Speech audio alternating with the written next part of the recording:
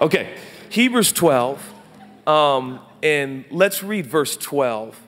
It says, Therefore, lift your drooping hands and strengthen your weak knees and make straight paths for your feet so that what is lame may not be put out of joint but rather be healed. Let, us read it again. That's it. That's just the two verses we're going to study um, this morning. Therefore, lift up your drooping hands, strengthen your weak knees, and make your paths for your feet. Make straight paths for your feet, excuse me, comma, so that what is lame may not be put out of joint but rather healed. Um, let's, let's call this message um, um hands and knees. Okay, do you remember that song? I it always I can't remember the lyrics. Finger, knees, and toes. Shoulders, knees, and toe. Is that a, that's not a Bible? Oh, I thought it was. Okay. Uh, Judah, that's Father Abraham there, slugger. Okay, we get it. Come on. The earth is the Lord's and the fullness thereof. There's no such thing as secular and sacred. It's like a little heavy for the morning. Okay. Um, would, you, would you pray with me? I love you guys a lot. You're the best looking community I've ever seen. And, um, and I'm not lying this time. Sometimes preachers lie. Did you know that? It's my favorite church to preach in, you know, on this particular Sunday. Okay. Jesus, thank you so much for your grace and for your love for us. Um, Lord, I, I, am asking that you would take this um, really, um, what, what could be potentially ordinary Sunday and you would make it extraordinary. Already, so many of us in, this, in the room at the same time is, is, is, is pretty special. So we ask that you would meet us right now and that you would encounter us. And God, take your word, bring it to life, and use it to build our spirits and souls on the inside in a real, genuine, legitimate, authentic way. That's what we need. Make this more than a sermon and a talk let it be a word from heaven. Thank you, Lord. Don't let Tom Brady win any more Super Bowls. I do half heartedly ask that you would bless the Miami Dolphins and prepare us for Super Bowl 52, the Seattle Seahawks. In Jesus' name, amen. Amen. Will you come back? Okay, thanks, man. How long you been growing your hair, bro? A year and a half. True story. Come on, I liken you to Samson in the scripture. You know, it's like, no, you're not Samson. I'm just kidding. Is your name Samson? Um, so, if you don't know, uh, my name's Judah. This is my wife, Chelsea, and uh, we have been married for uh, coming up on 18 years. 18 years. Insane. And uh, gosh, I have made her a better woman. But that's not the point. I've really molded her. I've kind of been like a spiritual father to her, raising her. Um, we got married so young, you know. But um, we've had we have three kids now, and so Zion's about to be 13. Zion's our firstborn, and then our um, second son, Judah Elliott Wendell Smith. His initials are Jews, God's chosen people, and uh, it was intentional. And um, Last night, John Gray was like, Jesus is not this ethnicity, this ethnicity. And I was like, he's Jewish. You know, like, I just wanted to say that because he is. But, anyways, um, uh, he's still Jewish in heaven. Do you know that Jew, we will be greeted by a Jewish Jesus, just by the way. He is still. Anyways, okay, so. Um, so Jews, and then and then the third uh, uh child is my favorite of the three, the little girl, and um, her name is Grace Renee. And uh, oh, I love her so much, man. She cuddles with me in the morning. And um, she pretends like she doesn't like that I pinch her buns. You know what I mean? And I don't know when that's not okay anymore. I don't know the line. I really don't. I don't know what I'm gonna do. You know, she's gonna be like 16. I'm like, oh, I love you, sweetie. You know, like, uh, dad. Yeah. So we're still working through kind of when that's. I keep checking in with Chels. Are we good?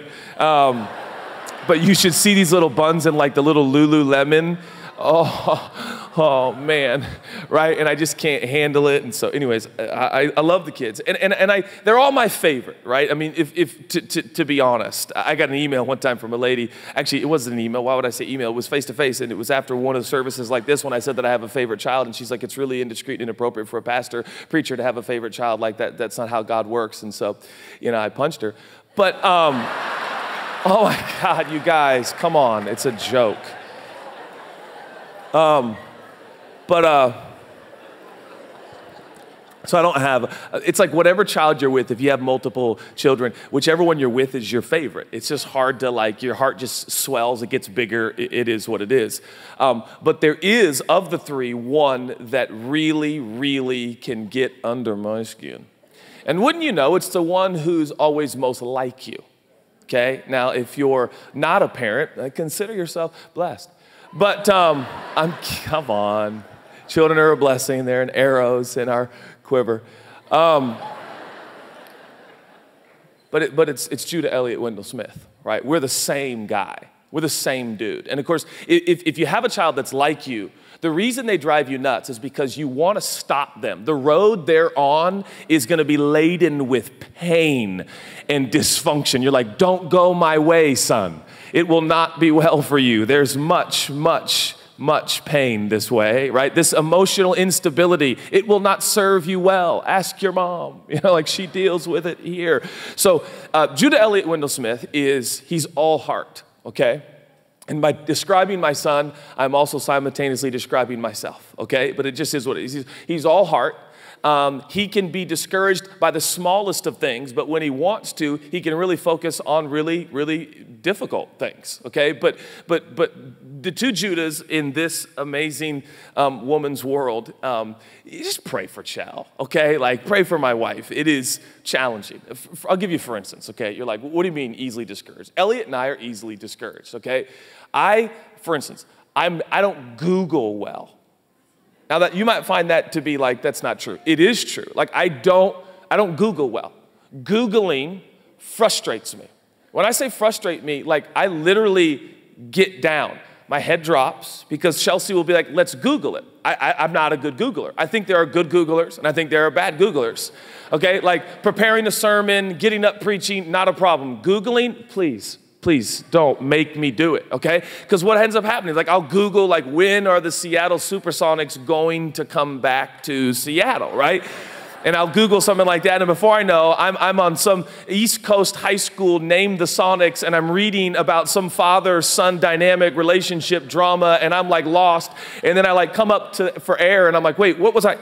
I just, it's too much information. I can't, some of you are good Googlers. You don't even realize it, right? Because you're 12. But you just like, someone says Google it, you Google it, and you have an amazing article, you know, printed in the Huffington Post about everything you want to know about. I can't find the right information. I always find the wrong information or end up buying something on eBay, you know, after I've been Googling. So I get frustrated. I see this in L Dog, right? He's easily discouraged. Now, if this morning you are one of us, you are easily discouraged, welcome to the party, okay? We're in this together. We're gonna be all right. Don't be discouraged about being discouraged. That's part of the problem, okay? I have learned over the years that, you know, we all have our propensities and our weaknesses. And I realize, and so does Chelsea now, that my discouragement is not some uh, horrific, uh, dumb thing I did. It's just kind of in the DNA. And she sees it now in L Dog, and we have like this moment like, wow, it's really, yeah, it's just in there. And of course, L Dog, like his dad, um, we're generally pretty nice people, but if you push us far enough, um, we'll kill you right? So Elliot is is is he, he's he's way bigger than his older brother, okay? And and his older brother will push him, push him, push him, push him, and then you hear death. Okay, and Zion is running for his life as Elliot has lost his mind. And I'm literally, somebody like, is your is your family okay, bro? No, we're not actually. Thanks for asking. Um, but I got to hold this guy back. And he just kind of loses his awareness because there's just something in him. It's, a, it's, it's kind of DNA. And of course, God can help us through our DNA. But if you're easily discouraged, all I'm saying this morning is I can completely relate. Have you ever felt discouraged. Now, that's an interesting word in church life because when I put, when I put out the word discouraged, that has become a, a very heavy term and a very intense terminology, church, church, church-wise, that is. Now, if you're kind of new to, new to this space, new to community, the word discouraged maybe uh, isn't a, a, a horrible title to you, but for many of us in church, the idea of I'm discouraged is kind of the, the it's, it's, it's synonymous with admitting you're defeated. And so, if you've been in church for any length of time, you know that that's not, you don't show up at church and go, I'm discouraged. Especially if you're a leader, because you, you, you can't be. You have to, joy is a choice, Judah. Welcome to my childhood, okay? Right? No, I, you can't be discouraged. So when I say, Are you discouraged? Maybe something goes off inside of you because you've been in church long enough to go, No, no, no, I'm not, uh, uh, I'm not, I'm not, no, I'm not like discouraged. I'm good, I'm fine, I'm not discouraged. Let me describe it to you like this then. Okay, we've just read two verses from Hebrews chapter 12. Context is we've got ancient Jewish believers, okay, Jews who have left the synagogue, left the temple. They have now accepted Jesus as their Messiah. Jesus has now fulfilled the law. Their life is no longer dictated and determined and defined by the law, but now it's by relationship and worship to Jesus who has fulfilled the law once and for all for them. They've accepted him, and now they're going to live the Jesus life and the Jesus way. And everything was going great until persecution just seeped in, and now all of a sudden, new regimes, new kings, new kingdoms, and all of a sudden, the Jewish believers are not liked in the streets of their city. And so all of a sudden, they're getting discouraged. And so the writer of Hebrews says, Lift up your drooping hands and strengthen your weak knees. Now, he, he, he, the, the, the author doesn't literally mean some of you have very long arms. Pick them up a little bit. Okay, some of you MCL, ACLs, fix them. We got, no, no, no, no, no. He's, it's a metaphor. But clearly, by this metaphor, it is very evident to me that God has something for these Hebrews to do and somewhere for them to go. I'd like to say to VOUS Church this morning God has something significant for you to do and some very significant places for you to go. We've got to keep moving. We've got to keep moving. Now, the, the, the, the, the greatest problem with discouragement, and we're going to define it in a moment, so we'll put a pin in that. The, great, the, greatest, the greatest challenge is discouragement causes you, very simple, to stay where you are. We get so hung up on these terms, and there's so much uh, jargon in the church, and, and the meaning is lost. When, when we say quit, a lot of people believe that means going back. Quitting can just simply be staying right where you are. Right? So you, we can't stay right where we are. We've got to keep moving. Now, the drooping hands imagery, first of all, I know why hands are before knees because if you have drooping hands, hands is a picture of strength, and, strength in Scripture always. And so, hands means your strength is drooping, your strength is waning. And when your strength is low, your activity is limited. So if you've got little strength, knees are a picture of action or movement or activity in Scripture. So when you have low energy, you have little activity activity. And so clearly the writer of Hebrews is saying, I need you to increase your energy and, and, and intensify your activity. And so I'm telling VOUS Church that we've got to increase our energy because God has so much more activity for us to be involved in, right? So when I said discouraged, you probably didn't think low energy towards God. But that's actually what discouragement is. It's actually when you, it's very simple, it's very, I'm kind of, kind of clinical. It means you have low energy towards God. And you know, a lot of people think low energy towards God's a bad thing. You know what? Sometimes it's outside of your circumstances and situations and you can't control it. Now, I've been taught all my life, uh, in, in, in many cases, that you know, discouragement is your fault. Sometimes low energy towards God is because your friends are being killed for loving Jesus. You know what? My energy meter would probably go, like, God, what's going on? Have you ever had low energy towards God? Now, be careful when you have low energy towards God because that's when you make dumb decisions, Esau. When we have low energy towards God, we, it's like your body, right? When your body is, usually if you're eating clean, right, especially early on in changing your diet, your body will need energy. And what will it crave for energy? Cheap fake energy through white refined sugar and it'll give you a high and then it'll crash. We do the same in our spiritual journey. When we crave energy towards God, we use stimulants that are not scriptural, they're not satisfying, they're not fulfilling, and they take us on a high and then we plummet into even a worse low. Right? So, what happens when you have low energy towards God? You have little activity, and before you know it, the church becomes a monument, right? You've, and not a movement, and we're no longer active in the city because we have low energy towards God. Hey, are you discouraged? No, no, no, I'm fine. Do you feel a little less energy than normal for God? Yeah. Okay, that's a form of discouragement, and you're not alone. It's been happening for a long time in the church. Now, interestingly enough, the writer here is writing to a collective. He's writing to a community. He, this is plural. It's plural even in its format. The writer is speaking plural here. So there's not like a few people with low energy, there's a lot of people with low energy. And sometimes that happens in church. And I want to go on record to say that doesn't make you bad or weird or not okay. It's sometimes life in the big city. So the writer says, Lift up your drooping hands and strengthen your weak knees. Now, at first glance, it sounds like he's saying what my math teacher used to say to me, which is, Judah, what are you doing? Right? And she'd walk by my desk, and I'd be in like pre algebra, which I was there for three years. And I, don't laugh, man. That's a real thing, okay? So I'm like, she'd be like, what are, what are you doing? And, and I look up at her and I would say this I don't know. That's my point. I don't. Show your work. I don't know how to do that either. How'd you get the answers from her?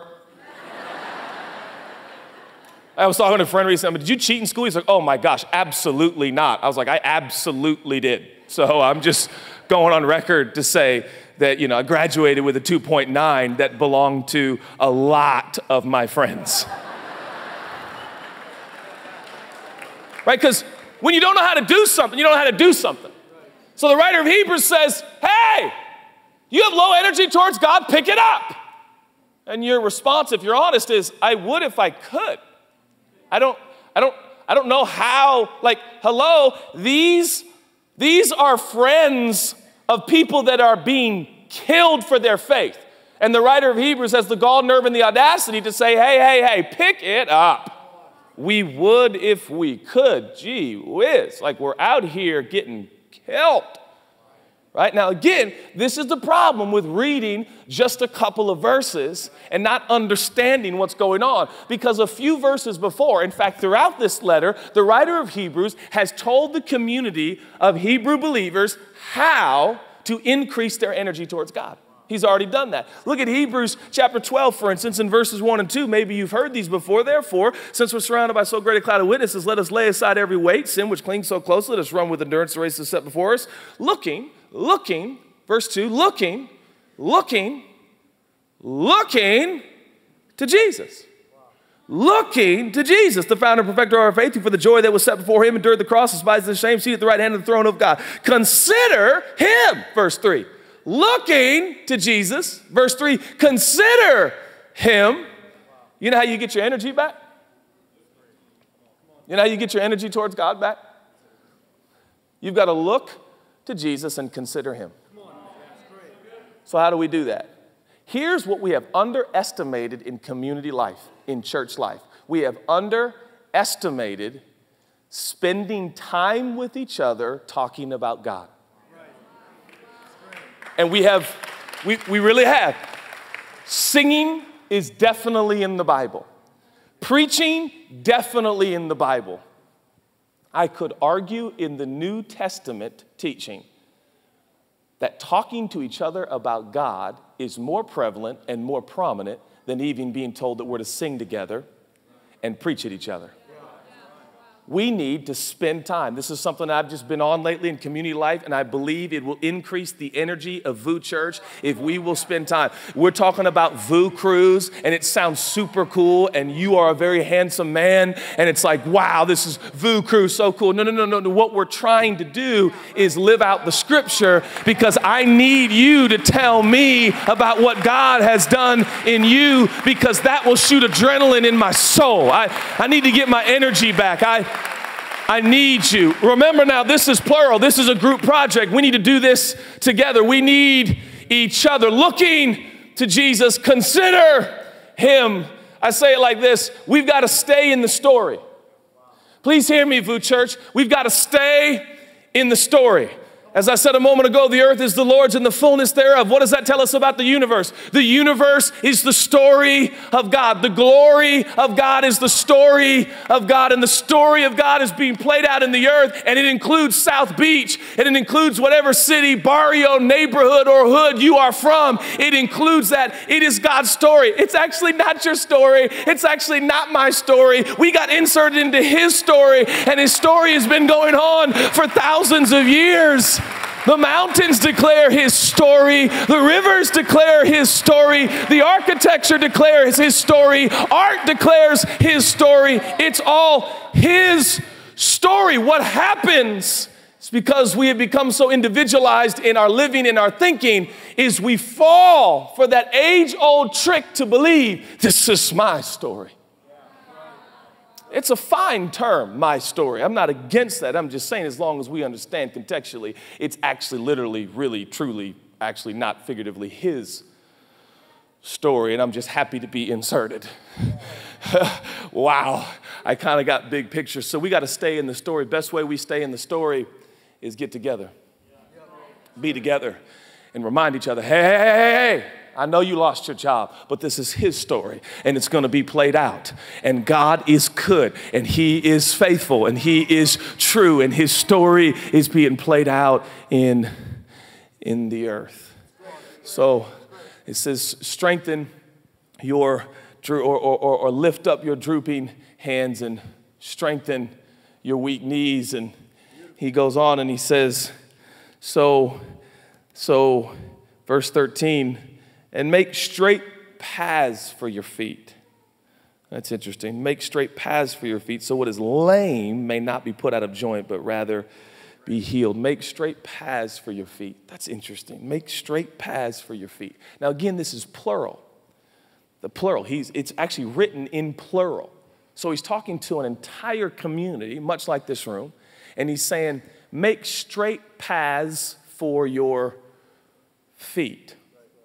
What could that mean? Now, if you know anything about the Hebrew people, they were nomadic people, they were walking people. And so there's much to be said about how these ancient Hebrews would know about their ancestors and all the walking they did. And so the metaphor would have hit home a bit more than the metaphor would for us today living in South Beach. You know, it's like make straight paths for your feet. Like, when's the last time you went hiking? You know what I mean? So this isn't Seattle. But, um, make straight paths for your feet. Of course, it's rooted in this, his, this Jewish history that they would literally clear out the path and they would remove rocks. And they, I think the glory of the Lord just showed up. Did you guys see that? The cloud of God. I mean, I, I can't see you. I just hope you can see me. But um, it's cool. Somebody smoking back there? Come on. You'll go to heaven smelling like hell. Okay, so. I don't know. I've been in church so long, like I got all the line, the one-liners, you know. Um, so, what's important here this morning is do you guys ever have dramas at your church? We had, we had drama like Heaven's Gates, Hell's Flames, and this is what it was like, you know? And, anyways, okay. This is a, it's a good stance. okay. I don't know where we were in the sermon because I can't see you. Kidding. It's, it's actually super important to have this much fog.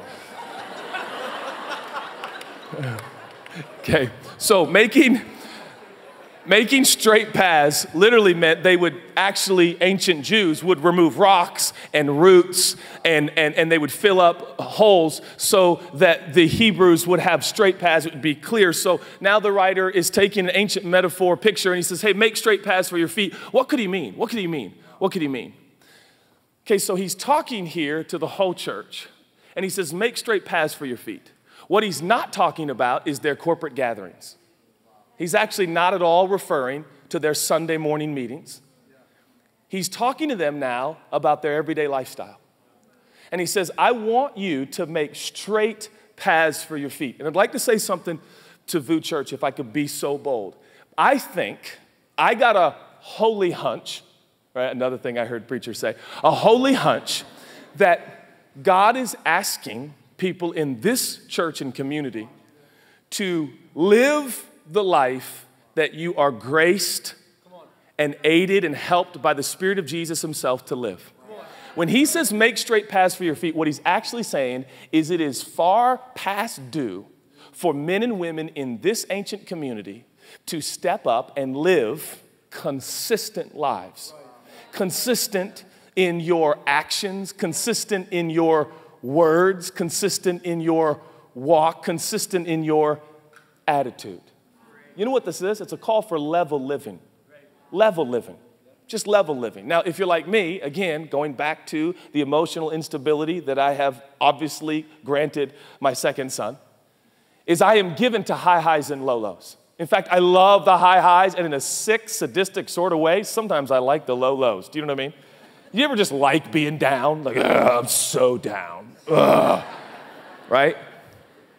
But here, the writer of the Hebrews is pleading, saying, Would you lean in and start developing a level life? You know what's crazy? Is I think sometimes it takes more faith, more faith to live a level Monday than take some incredible mission trip somewhere to the ends of the earth and dig wells. Right? It, are, we, are we humorous or is that just me? We never even met the person that lives in the condo next door. But boy, send us to the ends of the earth and we will dig wells and hold babies and take pictures. You know what I mean? Like me too, though. Me too. I'm in this too. Chelsea's like, let's go meet our neighbors. Ah, SportsCenter's on. Whoo, can't wait to preach Sunday. What is wrong with me? Judah, let's go meet our neighbors. Uh, babe, I'm, I'm prepping a sermon here. Wait a second. Right? Let's this level living. Whatever happened to level living? Just consistency. We, we've said it a million times. Come on. If you're looking to get married, honestly, honestly, honestly, consider the level people. Consider the consistent people. By the way, if they dress bad, who cares? You can do a makeover. That's part of what marriage is about. Find somebody who is steady. All right, I've said it before. Sexy Steve, no offense, bro, we love you. You are so overrated. You can be so sensational sometimes. You really can, and we love you. But Steady Eddie always wins in the end. Right? We want to be, hey, hey, hey, hey, the life you're living for Jesus right now, is it sustainable? Is it sustainable? We're loading in, we're loading out, we're starting VOUS Church, it's just getting going. But there is a call for God to say, hey, let's live in such a way that you can do this for a long time.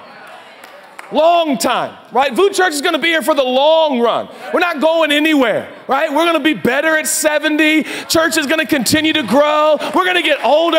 We're going to get gray hair. We're going to raise our babies and our grandbabies, right? That's what we're going to do. We're not going to be always 28. That's okay. We're going to stay young in our attitude, but our bodies won't. That's okay. VOUS Church is not anchoring itself to an age demographic. That's, that doesn't define who we are. We're for all people, and we're going to be here for a long time. So the call is for level living, con- consistency, and the greatest enemy of your level living are, are, are holes in, in not, not roots, not rocks, it's the holes. It's the holes. And do you know what the holes typically are? It's um, social breakdown. That's all it is. It's relational breakdown. It's relational breakdown. I'm telling you something, VOUS Church, you will never be stopped by the outside. The only way this church can be stopped is from the inside. And the inside is where hurt goes undealt with, and Matthew chapter 18 is not lived out. And those holes will get bigger and bigger and bigger. But if you will take the step to go to that somebody or that special sister or brother who hurt you and annoyed you and bothers you, and you'll do it immediately and say, Hey, you hurt me. I love you. I want to communicate. And you ask for forgiveness and you hug each other and you pray together. I'm telling you, what God has planned to do to VOUS Church and through VOUS Church will not be stopped. So we're going to tend our path. You hear me? You're going to tend your path. That's what you're going to do. God's grace you to do it.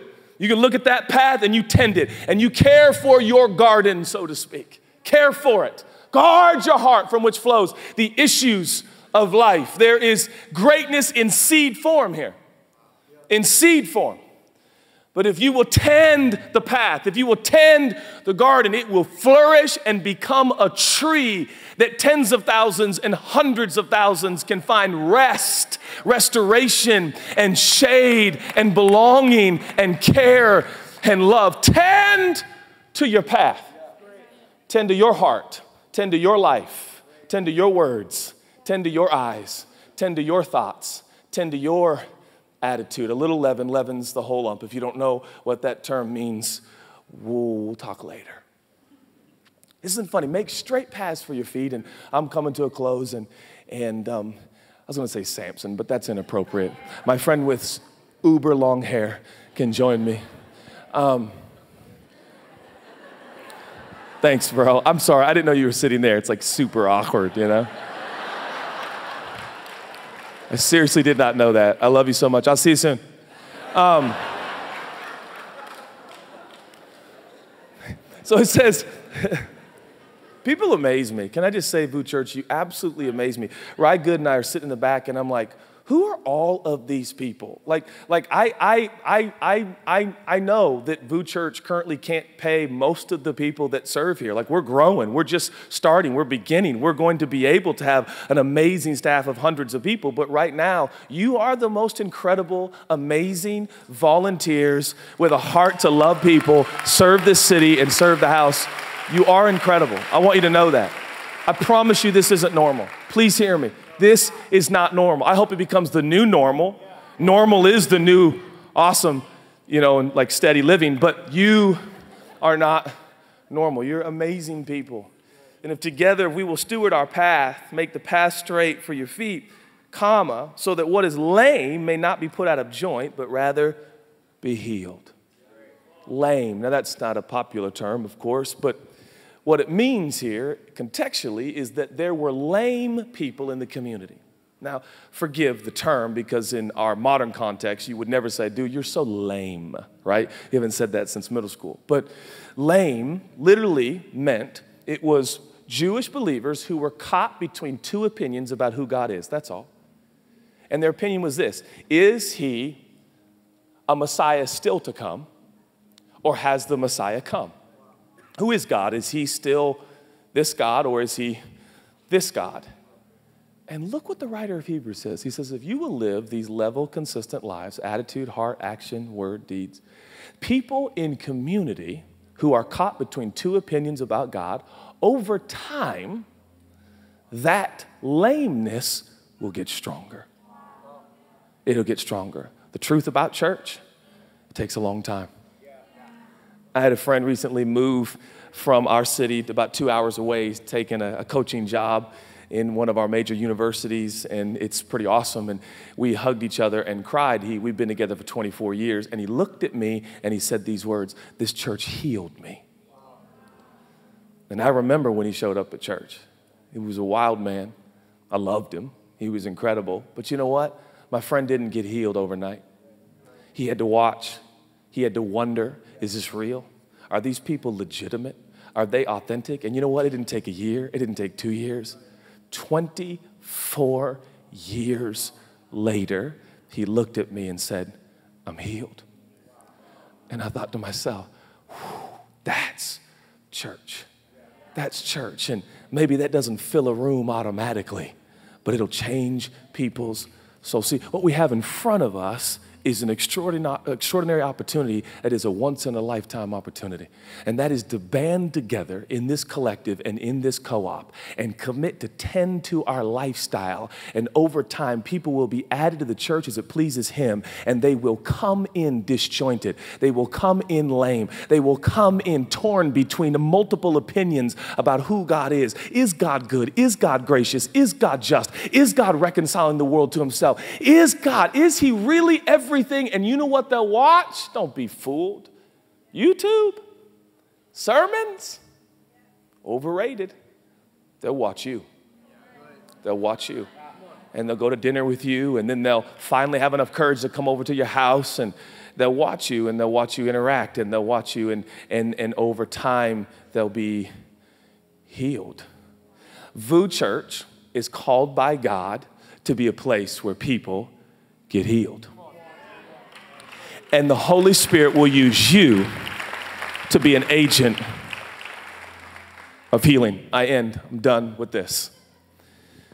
Luke 15 is this profound passage that has changed my life and it has ultimately kind of framed for us what's happening in Seattle and LA and Guadalajara. It is in this parable, and I conclude, it is in this parable that Jesus is questioned by his critics why he has such a motley crew. In other words, he hangs out with disreputable people, and the pastors don't like it. And so they come blogging and critiquing and questioning. And Jesus says, Let me explain and he gives us three parables, and I'm done. The first parable he tells about a hundred sheep. The second parable he tells about ten coins. The last parable he tells about two sons. And if you look at the picture in a totality, it becomes evidently clear to me that Jesus is saying the reason I beloved these people is because I love people, and people are vulnerable, prone to wandering, image bearing children of infinite value to God. That's the message, right? The, sh- the sheep, the coins, the sun, right? The sheep wandering, vulnerable, right? Selfish, individualized people who bear the image of God, who are his children, who are of infinite value. And Jesus is saying, They're all my kids. They're, I know they're wandering. I know they struggle. I know, I know, but they, they, they look like me and, and they're my kids and I love them. And so you see them as disreputable people. I see them as my wayward children. So that's why I'm living the way I'm living. So he gets to the end of the parable as I get to the end of my message. And Luke 12, 32, have you, have you ever, ever read this? And I just feel like this is for VOUS Church. It says, It was fitting, the father says. If you know the story of the two sons, the younger son goes away, spends all of his wasteful, all the money of his inheritance of his father, right? Comes back, kind of. The father sees him, runs to him, says, Hey, I love you. And instead of disciplining his wayward son who wasted all the money, he gives him new clothes and jewelry and throws a big party with a DJ and they eat filet mignon. It's a big deal, right? Well, meanwhile, there's an older son who stayed in his dad's house. He was faithful, he was true, he was right. And from the field, he hears the music and the dancing, and he won't even go into the house. This will not be who we're going to be. This is not who VOUS Church is. We're not going to stay outside. We're going to join the party of humanity, right? So he's out in the field. He's out in the field, and and the father came out to him. Verse 28 says, and then he he says, Dad, I, I never did anything wrong. Why, why didn't you do this for me? And he, he says, he says, What? And, he, and, and, and the whole story ends. It was fitting to celebrate and be glad, for your brother was dead and he's alive. He was lost and he's found. And then, and then the story just ends. And I was asking God one day, why does the prodigal son story, it just ends in this suspended scene out in the field? We don't even know if the older son ever comes in. The last scene we're privy to is the father with graciousness for both kids out in the field going, It was right. And the lights dim and the scene's over, and that's all we get. It's like, did they reconcile? Did they? And I, it dawned on me one day do you know why it ends like that? Because the story leaves you craving a true older brother. It leaves you craving. Do you see? We, in, in the story, we think it's about two sons, but you know, there's a third son telling the story. He's the son of the living God and he's the true son. You know what that you know what that older brother should have done? He should have saw his grieving father every day as his dad got out on the patio on the porch and looked down the street and looked down the road and that older brother should have came out and said, "Dad, his his you love this kid that much." "Yes, son, I miss him every day. I'm so desperate for him to come back." "Dad, are you serious?" "Okay, I'm going to go find him, Dad. I'm going to go, "No, son. No, Dad, I'm going to do this. I'm going to be the son that I need to be. I'm going to be the brother I need to be, and I'm going to go find him wherever he is in the highways and the byways. Let us live a life that looks like the third son. Clear the path so that those who are lame might be healed. That's who we are. That's who VOUS Church is. We're not staying in the field, we're joining the party in the house. All are welcome, all belong, all are loved, all are God's children. Can I hear an amen? Day after day, Every priest stands and performs his religious duties. Again and again, he offers the same sacrifices, which can never take away sins.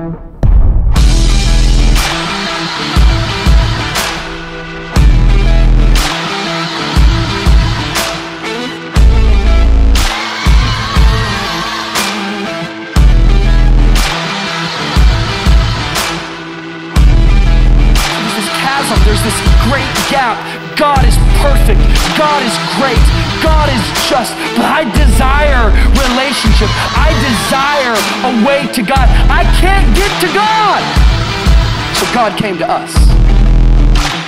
Jesus is the way, and without him, all men are wanderers and vagabonds. Jesus is the truth, and without him, all